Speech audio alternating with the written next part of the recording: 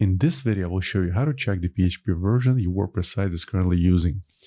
First, we'll log into your WordPress admin account and then hover on Tools and then select Site Health. Then select Info.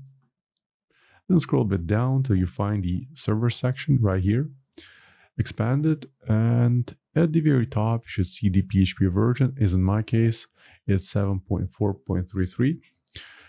In case you're using an older version of WordPress and do not have access to site health tools, what you can do is go to plugins, then click add new plugin, and in search just type uh, display PHP version.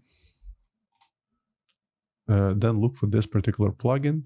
Go ahead and install and activate it. Once that's done, click on dashboard, then select screen options, and then enable at a glance option. And right here, you'll see the PHP version your site is currently running on. And uh, finally, there's another way how you can check the PHP version directly in the cPanel. In that case, log into your hosting account and go to cPanel, then scroll a bit down till you find the uh, PHP version selector right here. Then click on it. Once it loads, at the very top, you'll see the PHP version your site is currently running on, as in my case, 7.4. So that's all I want to show you in this video. Hope you found helpful. And for more WordPress tutorials, please subscribe to my channel. Thank you.